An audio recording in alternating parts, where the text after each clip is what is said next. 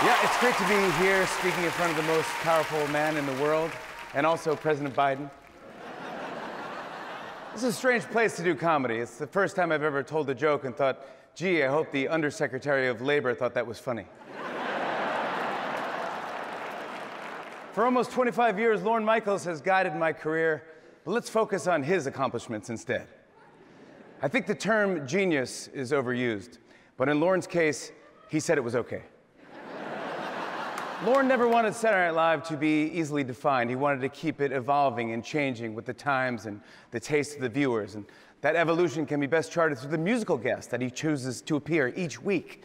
Through the years, some of the biggest names in rock and roll and pop, artists who were just about to set the charts on fire, all accepted his invitation to perform.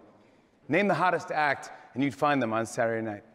From the Rolling Stones to Tina Turner, Foo Fighters, Prince, David Bowie, Lady Gaga, Ray Charles, Billie Eilish, Miley Cyrus, Bruno Mars, to Justin Timberlake.